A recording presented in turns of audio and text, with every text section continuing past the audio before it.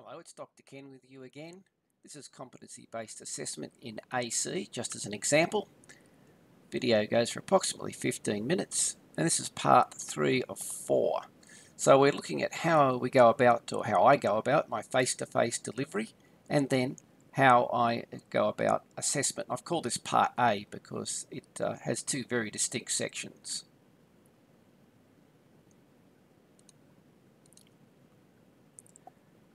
So here in particular, I'm looking at uh, the, the delivery model that I use, which kind of is covered by uh, this purple circle, and then the assessment, which is covered by this orange circle, and then how all that feeds into how we're going to do this competency-based assessment, whether it's a knowledge assessment or a skills assessment. So I call this part part A as we look at the first section of how we go about uh, doing that.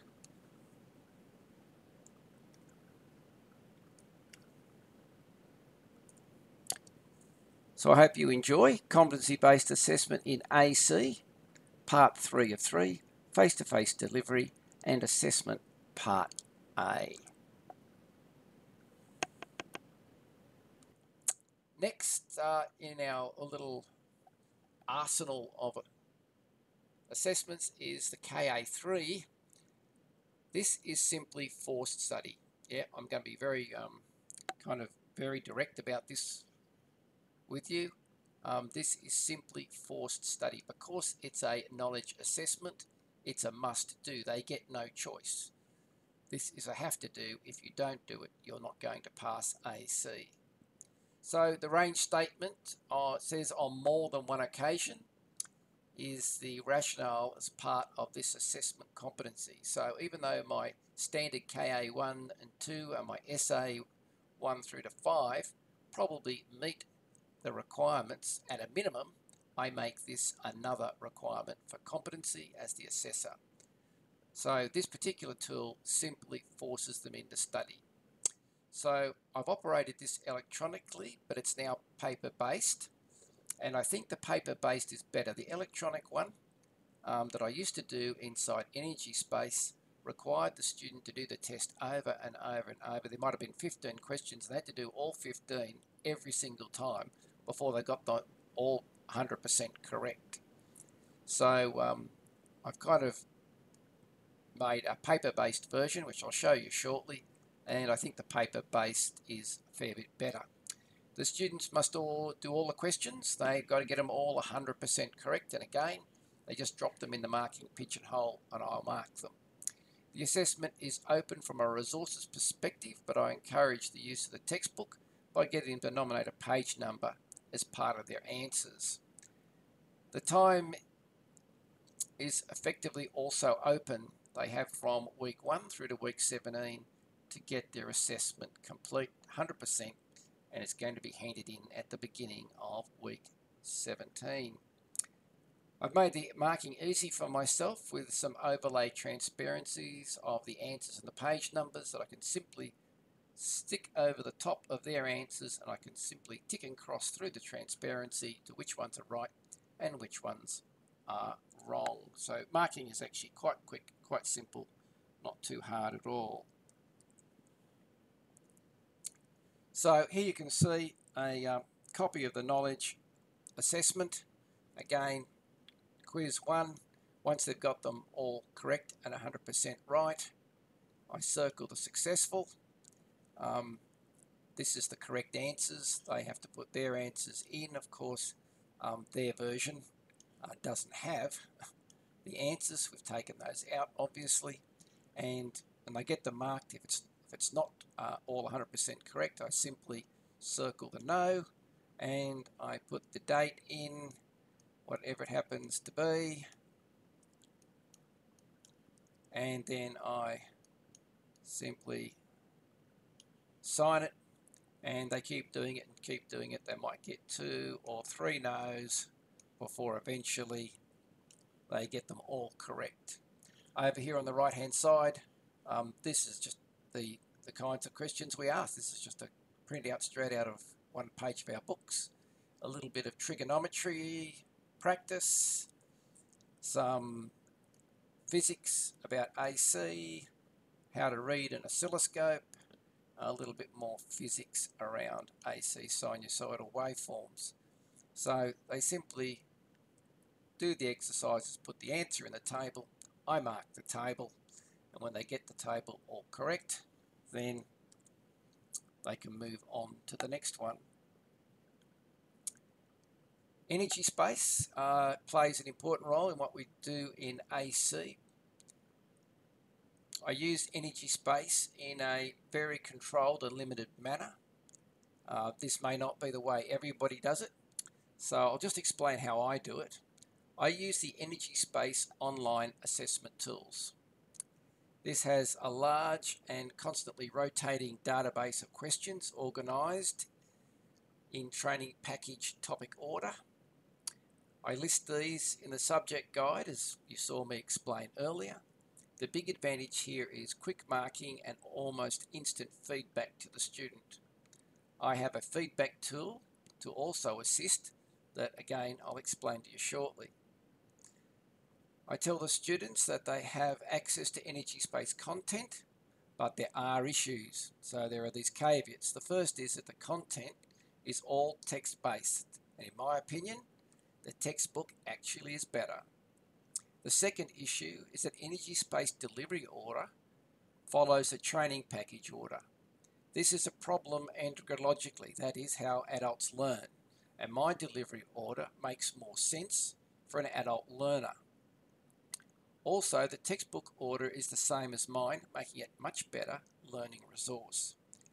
Energy space topic quizzes are helpful to some, but no feedback or answer explanation is provided, especially in the big topic quizzes. So we do use energy space for assessments, both KAs and SAs, but I tend not to use the content because it's top it's text based and they don't particularly like reading to start with and um, you can't put post-it notes for assessment time in energy space, but you can put post-it notes in your textbook, but more of that shortly. So we're now down to face-to-face -face delivery. Again, I personally don't use energy space content, so I don't use it in my face-to-face, -face, but this is just a totally individual preference.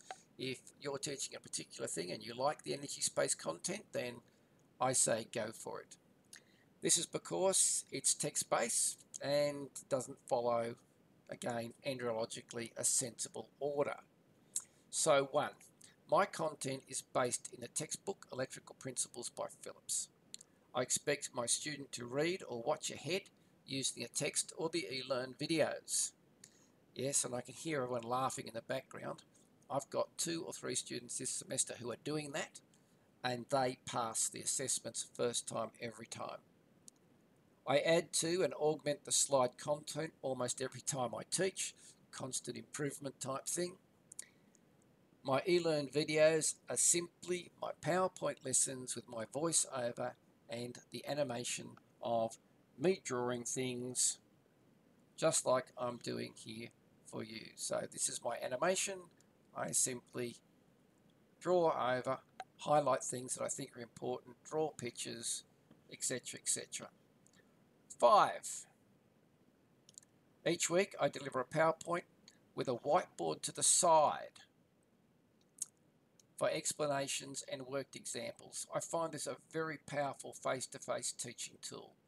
I have a PowerPoint slide, I have a little controller so I can click through the slides remotely, and I have a whiteboard to the side. This allows me wonderful to stop PowerPoint, do a bit of an explanation on the whiteboard, and then move on. When the class undertakes energy space practicals, we use the appropriate lessons from energy space. Finally, I do about every second tutorial exercise that I mentioned before in class, again, as time allows with what I'm doing. So again, we I focus on the textbook because in my opinion, you probably can't get a better textbook than Electrical Principles by Phillips. So this is a biggie. I encourage the students to read, watch ahead, most of the lessons only cover two to three sections in the text. So again, don't be scared to mark up your textbook. I tell the students, you're allowed to have the textbook in the assessment, so why not put notes in your textbook? Why not put tabs in the margins? Get questions ready, use it as a study guide, etc., etc.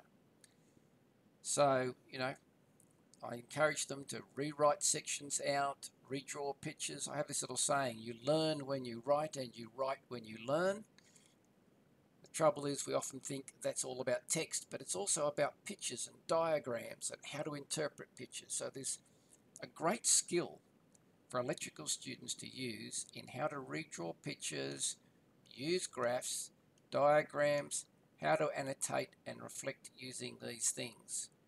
So, yep, textbook is a great tool and the fact that it's paper-based is exceptional.